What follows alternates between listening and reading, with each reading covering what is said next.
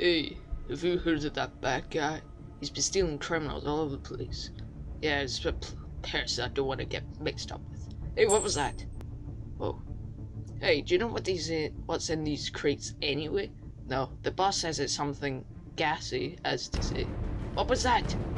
Ah, must be a power outage. Ah! What? Please don't tell me this is a joke. You're right behind me, aren't you? Ah!